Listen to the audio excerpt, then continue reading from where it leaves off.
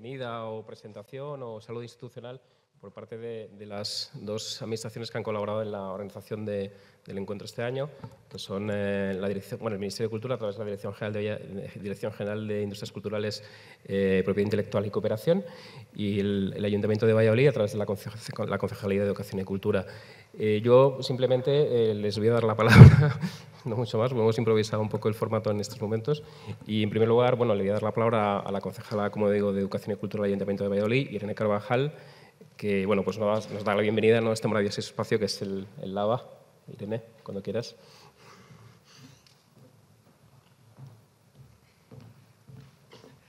Muchas gracias por tu presentación. Buenas tardes a todos. Quisiera empezar mis palabras dando la bienvenida a nuestra ciudad y a este Laboratorio de las Artes de Valladolid, a las autoridades, a los implicados, a los agentes, participantes y organizadores de este noveno encuentro de la cultura y la ciudadanía. En segundo lugar, quiero agradecer al Ministerio de Cultura y concretamente a la Dirección General de Industrias Culturales, Propiedad Intelectual y Cooperación, en la persona de su directora, Carmen Páez, y de su equipo encabezado por Benito, Burgos, Sian Rodríguez y Rafael Sanz, entre otros, que hayan elegido Valladolid para la celebración de este noveno encuentro de cultura y ciudadanía. Hago un agradecimiento también extensivo a los medios de comunicación en su labor de difundir la actividad cultural de nuestra ciudad. Valladolid es una ciudad de acogida, de encuentro, de cruce, de intercambio. Una ciudad intermedia en el medio del camino de casi todo un polo de atracción y concentración a escala regional de múltiples fortalezas y valores también en el ámbito cultural. Valladolid es un claro ejemplo de esas ciudades que este tipo de encuentros quieren poner en valor. Ciudades pequeñas y medianas que pueden ser cosmopolitas, abiertas, plurales, diversas, con una gran ebullición y inquietud cultural y ciudadana. Ciudades que huyen de visiones endogámicas y cerradas, como la testigua no solo nuestro elevado número de equipamientos culturales, tanto públicos como privados, en los que se representan la práctica totalidad de las expresiones artísticas, sino también con una ciudadanía implicada que participa asidua y activamente en dichas manifestaciones culturales con diferentes grados de implicación. Desde Valladolid, una ciudad con ilustre historia que alimenta nuestros anhelos de futuro, quiero reivindicar el papel de esas ciudades pequeñas y medianas como nodos vertebradores del desarrollo cultural de nuestro país. Pues somos las entidades locales las mayores ejecutoras del presupuesto cultural y, por lo tanto, también somos actores imprescindibles e intermediarios necesarios para la estructuración de un ecosistema cultural que responda a las necesidades reales, que supere los conflictos interinstitucionales en materia de sus competencias y que favorezca el desarrollo cultural en términos sociales, patrimoniales, profesionales y económicos. En definitiva, Valladolid representa hoy a tantas y tantas ciudades y pueblos que pueden llegar a ser y son, como dice la introducción del programa de este encuentro, escenarios propicios para el establecimiento de alianzas transversales, heterogéneas y flexibles, a lo que me permito añadir tan eficientes como los grandes centros económicos y culturales en la tarea de repensar la acción cultural, revisando modelos y pensamientos perpetuados que nos permitan trascender nuevas fórmulas en relación de los ciudadanos con las instituciones y nuevas estrategias y políticas culturales. Termino mi intervención dándoles la enhorabuena por la organización de este encuentro, por haber conseguido un interesantísimo programa que cuenta con un importante y variado panel de expertos, de propuestas y de experiencias dignas de ser compartidas y puestas en valor, algunas de ellas muy cercanas a nosotros. Mis mejores deseos para que resulte fructífero y que de este foro y de otros semejantes surjan ideas y estrategias que iluminen el camino por el que tenemos que avanzar, esperando además que disfruten de la estancia en nuestra ciudad que va buen seguro les está recibiendo con los brazos abiertos. Muchas gracias.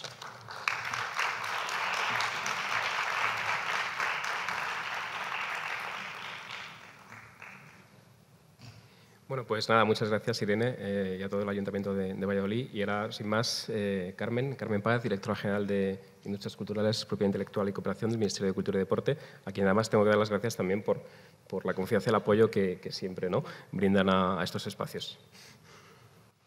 Buenas tardes a todos. Las gracias siempre a Benito y al equipo de la Subdirección de Cooperación con las Comunidades Autónomas por todo el trabajo que hacen y por levantar, como decimos, a pulmón este tipo de proyectos e iniciativas que creemos tan, tan necesarias. Antes de nada, quiero agradecer a, la, concejala de Educación y Cultura, Irene, Irene Carvajal, eh, el que nos haya cedido este espacio maravilloso aquí en la ciudad. Quiero agradecer también a, a, Juan Herrero, el director del Laboratorio de las Artes de Valladolid, por todas las facilidades y toda la flexibilidad en acoger este encuentro, en dejarnos a ambos vivir estos días aquí en, Valladolid y en crear estos, estos foros y estos espacios que creemos tan, tan necesarios. Y la verdad es que em, son claro ejemplo de que la cooperación entre administraciones es fundamental y cuando todos sumamos, sumamos, multiplicamos. También quiero agradecer y aprovecho el, atril para agradecérselo al director del Museo Nacional de Escultura, Alejandro Nuevo, que también se encargó de acoger el encuentro en los puntos europeos de ciudadanía el pasado lunes y que eh, la verdad es que eh, las repercusiones han sido maravillosas. Valladolid es la tercera ciudad eh, en la que celebramos el encuentro de cultura y ciudadanía. Es la tercera ciudad fuera de Madrid. Desde hace unos años eh, decidimos que era fundamental llevar este tipo de debates fuera de la centralidad que, eh, ofrece la capital, en donde después de San Sebastián y Sevilla eh, nos acoge hoy la, ciudad de Valladolid, la capital de Castilla y León, que es una comunidad autónoma que también además ha acogido otras ediciones del evento hermano de Cultura y Ciudadanía, que es el Encuentro de Cultura y Ruralidades, que celebramos en, León, en Cerezales del Condado y en Soria. Así que estamos muy contentos de estar otra vez en, Castilla y León.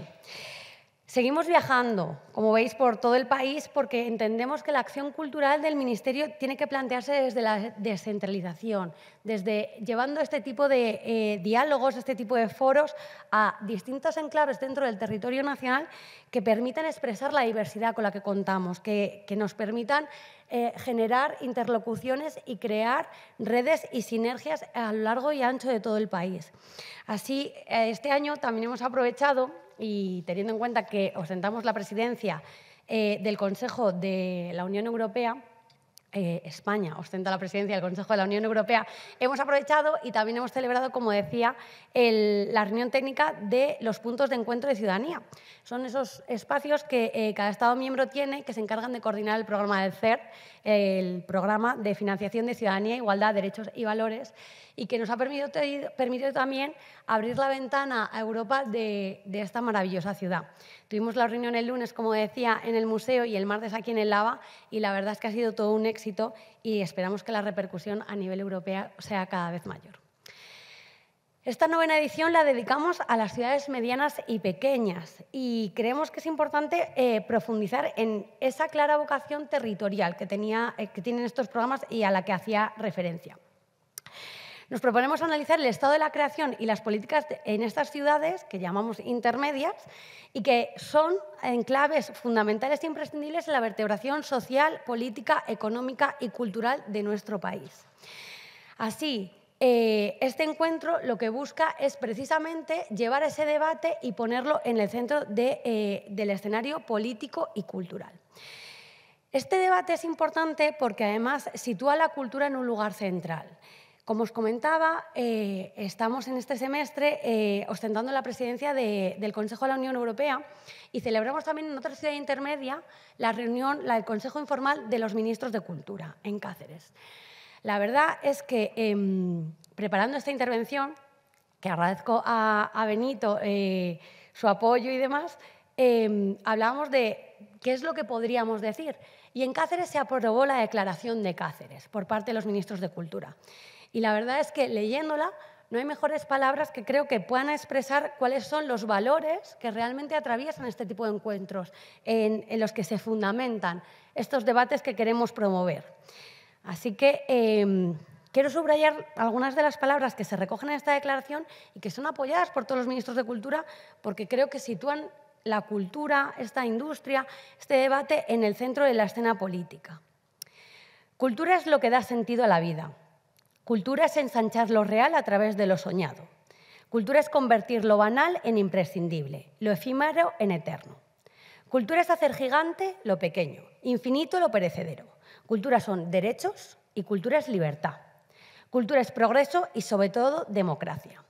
Es el corazón de la democracia, es tolerancia, respeto y derechos humanos, libertad de creación y pensamiento, pluralismo, diversidad y riqueza. Es paz, es identidad y es igualdad. Cultura es acceso universal e inclusión. Cultura es participación de la ciudadanía en la vida cultural. Cultura es salud, bienestar físico y mental. Cultura es sostenibilidad y un camino a un mundo para las generaciones venideras. Cultura es un elemento clave en la lucha contra el cambio climático y un elemento esencial del desarrollo económico. Cultura es vidas dignas para los trabajadores y trabajadoras de la cultura. Cultura es patrimonio, historia y memoria, porque ahí están las semillas para, el futuro. Y esta declaración cierra diciendo que la cultura es, en definitiva, un derecho de la ciudadanía que los poderes públicos y cada individuo tiene la obligación de salvaguardar. Suscriben todos los ministros el compromiso de que la cultura sea de ahora en adelante considerada un bien público esencial y un bien público mundial al más alto nivel político. Como os decía, estos principios son, desde sus comienzos, los que atraviesan el corazón y el alma del encuentro de cultura y ciudadanía y de cultura y ruralidades. Nosotros creemos que también cultura trabaja y sirve para la cohesión social y territorial, que es un valor que defendemos con fuerte convicción, con este tipo de programas descentralizados, vertebradores de tejidos profesionales e iniciativas ciudadanas con proyectos que pisan y sienten el territorio, que promueven la diversidad cultural y la plena inclusión, que parten de la historia y la memoria de nuestras distintas regiones y localidades para seguir levantando, a partir de ella, horizontes de posibilidad, de futuro para todos nuestros agentes culturales y todos nuestros conciudadanos, con independencia de su lugar de residencia. Espero de corazón que estos días sirvan para poner a la cultura en el lugar que merece, en el centro del debate, no solo político, sino también de los ciudadanos. Como decía la concejala, espero que aprovechéis muy bien estos días y de nuevo reiterar el agradecimiento a todo el equipo de la Dirección General por llevar a cabo el proyecto. Muchas gracias.